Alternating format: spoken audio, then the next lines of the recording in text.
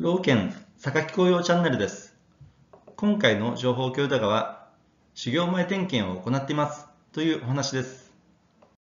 それでは、送迎車の修行前点検について見ていきましょう。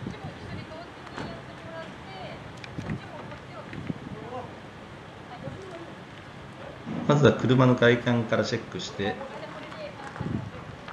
で動作確認ですね。ライトの確認。よし。こちらの方も動作確認。後方の確認。で問題なし。問題なし。問題なし。問題なし。問題なし。ということで指をさしながら、えー、動作確認しております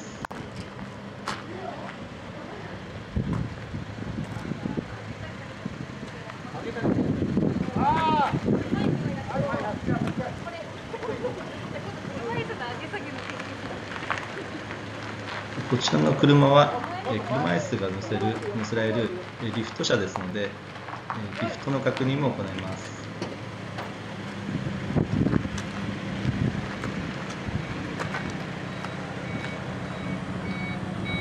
このリフトの動作も確認しますね。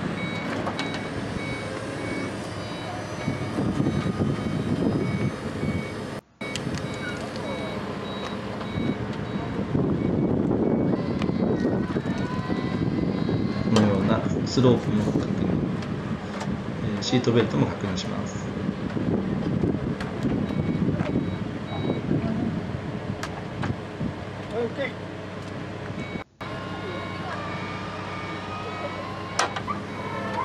まで行きますよ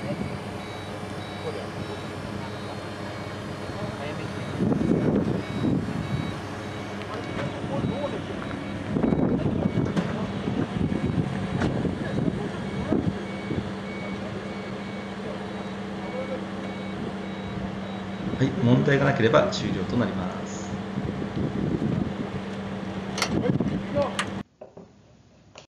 はい、ということで、今回の情報共有動画は、えー、送迎車の修行前点検についてお送りしました。